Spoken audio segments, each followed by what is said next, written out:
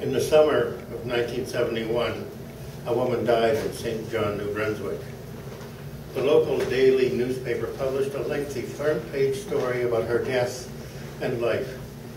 During the previous decades, this woman had been just one of the city's poor, marginalized and ignored by most. She eked out a bare living making and selling artificial flowers on the street.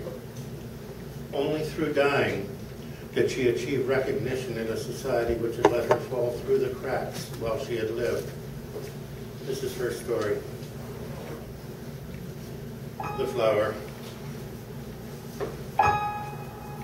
The bell tolled low, scarcely heard at first. An itinerant artist saw her once when he came painting $5 faces of pedestrians.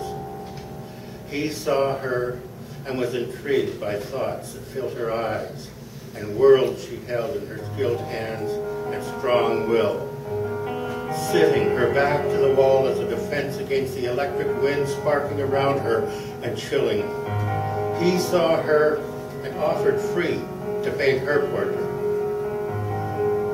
The flower lady portrait was painted. There is in a business window where she walked a haunting portrait of the flower lady. She sits back to the wall, face to the wind short circuits, city gray, gazing into distance at green European fields or a warm farm home where a young girl once lived. She sits back to the wall, face to the wind, a basket of flowers at her feet. The bell tolled. She was the flower lady. She needed no more identification than that. She rose with alley cats and young babies. She rose with the crisp morning sun and sea breeze and was sometimes in her place at Market's Head as early as 7 in the morning. She took brightly colored materials in the beginning and created flowers she sold all over the city. There was a restaurant where she ate, if you can call it that. A bit of tea and a bit of toast. Not much of either. She sat alone, caring for her creations, her nearly flowers, pinching and shaping limp petals, straightening green, green leaves. Then she ate her usual late evening lunch, tea and toast. That was all. The bell tolled It was often midnight before she returned to her room with her leftover, not quite flowers.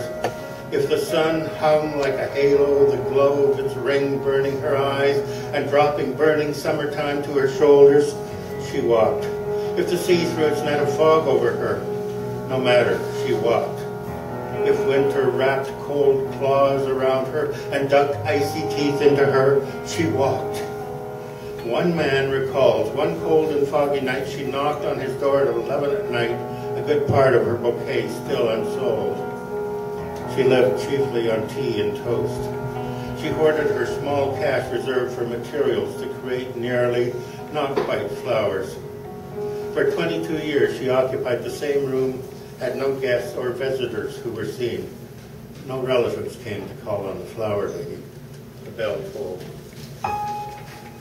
She was herself like a flower, a thin wildflower, bright and alive like the mayflowers she sold in the spring. Sometimes she wore a fresh, crisp bandana. Sometimes her grape basket was very gaily decorated with like a happy moment of childhood. Sometimes it was plain. The tributes are many. She was always neat and tidy. She would not take charity.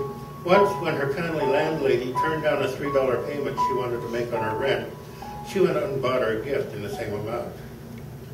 Everything reported seems to enhance her memory. When her death was announced, few noticed. The bell tolled low. She needed no more identification than that.